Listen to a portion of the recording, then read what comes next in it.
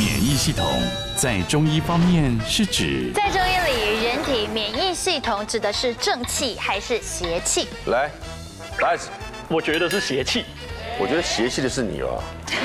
没有，因为我我的免疫系统失调啊，我生病是免疫系统造成的。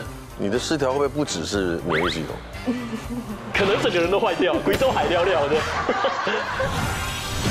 今天晚上九点，东森综合台，全民新攻略。